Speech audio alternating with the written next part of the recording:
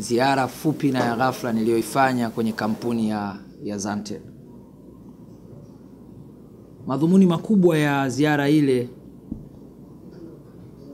ni baada ya kupokea taarifa zinazohusu dalili za kuwepo kwa ufisadi katika mkataba ambao kampuni ya Zantel iliingia na manispaa ya Kinondoni mwaka 2009.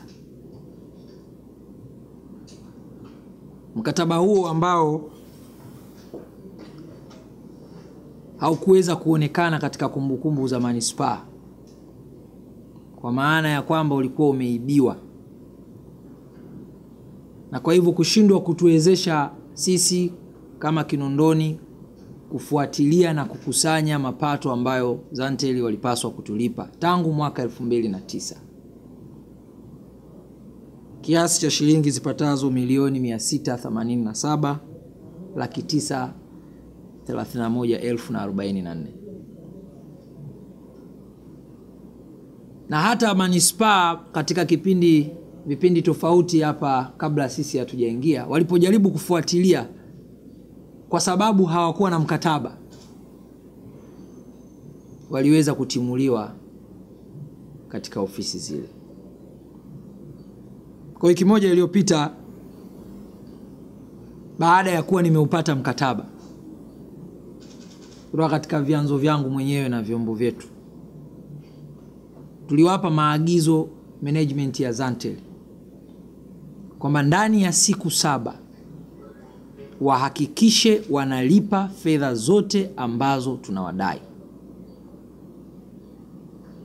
lakini tuliviagiza vyombo vyetu vya ulinzi na usalama vianze uchunguzi mara moja ili kubaini ni nani aliyekuwa analipwa fedha hizi, ni nani aliyeiba mkataba huu na kuuficha, na kuhakikisha kwamba watu hawa wanafikishwa kwenye vyombo vya sheria.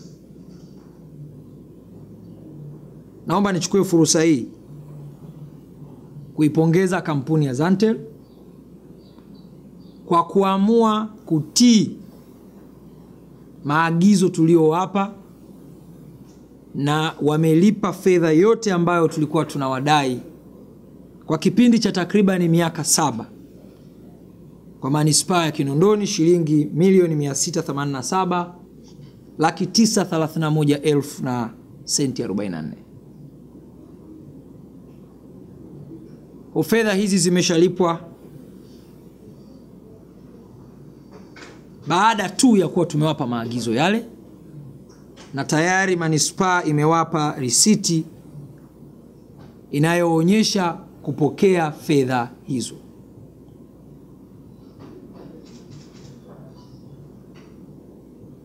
Baada ya tendo hili la uungwana na kutekeleza maagizo yetu, tumeielekeza manispaa fedha zote hizi milioni 687 zitakwenda kujenga vyumba vya madarasa katika wilaya ya Kinondoni. Takwimu zinaonyesha mwaka huu 2016 idadi ya wanafunzi elfu kumi na tisa walifaulu katika manispaa ya Kinondoni. Waliochaguliwa kwa awamu ya kwanza ni 12889 na hadi, hadi hivi sasa tunavyozungumza wanafunzi elfu tatu mia moja sitini na tisa hawajaweza kupata nafasi katika shule zetu za sekondari kwa sababu ya ufinyu wa madarasa. Na jana Mheshimiwa Waziri Mkuu akiwa Lindi ametoa maagizo kwamba kila halmashauri ihakikishe wale wote wenye sifa na waliofaulu kwenda sekondari wanakwenda sekondari. Manispaa ya Kinondoni ina upungufu wa vyumba vya madarasa 79. Fedha hizi ambazo tumekubaliana kwa ujumla zitakwenda kwenye kujenga madarasa ya sekondari, zitajenga vyumba vya madarasa 40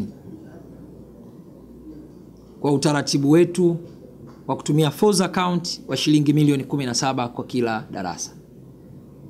Kwa hivyo mtaona kwamba tutakuwa tumebaki na upungufu wa vyumba vya madarasa 39.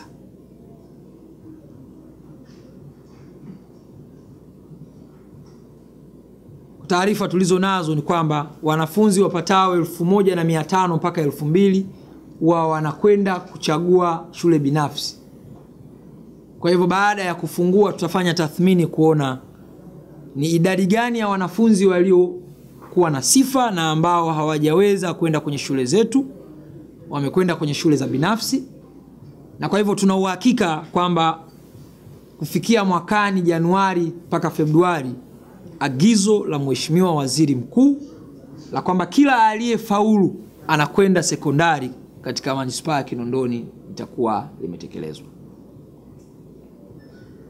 Kama kaimu mkuu wa mkoa sasa, kwa sababu maagizo haya yametoka jana, waziri mkuu akiwa Lindi, na sisi katika mkoa wetu tumekuwa na desturi za kutii na kufuata maagizo ya viongozi wetu mara yanapotolewa. Tumie fursa hii kuwaagiza wakurugenzi wote katika mkoa wa Dar es Salaam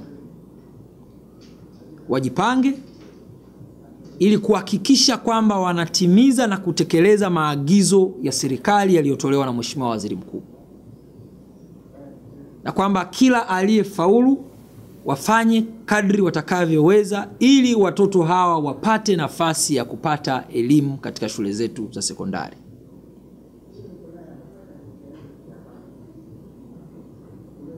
Hili ni wajibu wetu, ni wajibu wa wakurugenzi, ni wajibu wa manispaa zote kuhakikisha kwamba maagizo halali yaliyotolewa na Mheshimiwa Waziri Mkuu ili kuendelea kutekeleza nia njema ya rais wetu Dr. John Magufuli ya kwamba kila mwanafunzi apate haki ya kwenda sekondari pale anapofaulu na asome bure.